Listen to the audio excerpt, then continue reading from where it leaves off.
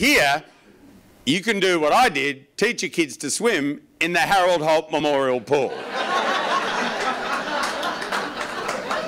the guy fucking drowned, and we named a swimming pool after him. A swimming pool, no trace of irony. It's like, no, that's a good idea. What was the council on when they went, yeah, do that? Let's name it after Harold. That's a fucking piss up. What did they think? There'd be kids in the pool going, if he could have done this, he'd be here now. Seriously, we put a lot of shit on the Americans. Why not? Have a look at them. Well, we put a lot of shit on the Americans. You could tour the length and breadth of the United States. You would not find the John F. Kennedy gun range. Old coot old. That's what you don't want to be. You don't want to be that, and I know all about them. I live in a nest of them. Old coots everywhere. So I've got time, and God knows they have. So I fuck with them. I'm, do I'm doing it right now. Because before I came here, I put my bin out. Saturday, it's not bin nine. Only if you live among old coots do you understand what I'm saying, because in the world of the old coot, the worst thing you can possibly do is miss the bin person. If you miss the garbage pickup, I don't know what happens. It's like if you don't put your seat back up right, the whole plane crashes. We don't know. We never do it. You can't miss the garbage night. Old coots will get their bins out two days early. Put them out! Put them out in the morning, two days early. We can't miss it. What happens to the garbage over the next two days? Put line it up in the hall. The important thing is our bin is out. We haven't missed it. So when it isn't garbage night, I put my fucking bin out. They're like, oh no, we missed it. Fuck. Sometimes, if it's a one bin night, I put the other bin out. Chaos throughout the street. Is it? I don't know. I can't believe the evidence of my eyes. It shouldn't be, but there's bins out. What if we missed it? I don't understand what's going on. The world makes no sense. So I know what else you're thinking now. You're going, well, that's nice, Richard, but uh, that would say to me, in that kind of relationship, when you're with plenty of time, that the sex is 24 7. Sure. Yeah, that is the nature of a long term relationship. That is.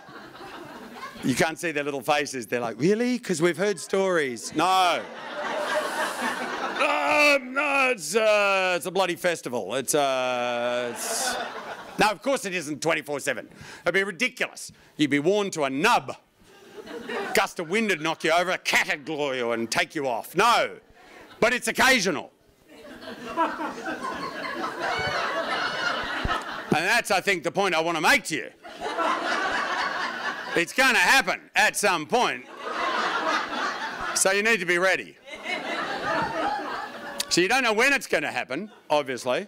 Uh, you don't know why it's even happening. You just, you're just going, oh my God, it's happening. So don't, don't fuck it up. Don't be the one who, when it's on, goes, I'm a bit too pissed. No, never be that pissed. Oh, I've got a bit of a headache. Who gives a fuck? Work through pain. Come on, let's go. Baby, you're all right? Yeah, I'm fine. You, you've got a nail through your big toe. Yep. Don't worry, it'll be fine. Take my mind off it. Might improve it. It could be our thing. Uh, don't worry about it. Be ready. Be ready. All times. Because you don't know why it's happening. If you knew what was happening, you'd make it happen more often. But you don't. Uh, you, all you know is you went up the big faraway tree and you're in rootland. You don't. you and half a dozen little English kids in ridiculously tight shorts are up there with you, and Algie said, I think we're in Rootland. I know you're going, I think we are too. You're in Rootland. You don't know why. You've got to be ready for Rootland. Otherwise, next time you go up the tree, there's Dame Slap a lot. Rootland's long gone. Always be ready. That's my point. Sometimes, obviously, uh, you can be too ready. I think about stuff a little too much, get wound up. Sometimes, you know, you're a bit too ready. It's late at night, you're sound asleep, you're in bed asleep, having dreams. You know, you're popular, you're good at things, dreams. And all of a sudden, you feel a touch on the foot. Bang, you're wide awake. Because it's on. You don't actually move if you know what you're doing. You just stay still because if you move, you might fuck it up. You don't know why it's on, you just know it's on. You're asleep, suddenly it's on. Don't fuck that up. don't do something that'll put everyone off. Just lie there. But internally, there's klaxons going off. Not a drill. Not a drill. In my mind, there's a whole lot of people who look like me in different uniforms, denoting their sections, all running, tossing away card games, rolling out of bunks, running, sliding down poles, getting in position. Brace, brace, brace. Don't waste that moment. This is a critical time. A lot of amateurs, they waste this moment. You just lie there, you just lie there, you take deep breaths, oxygenate the system. Get ready, get ready. Flex the big muscle groups. Trying to get some blood in there. Just come on. Flex them up. Warm them up. Go into the room of mirrors. Be critical of your last few outings. Have a look at it.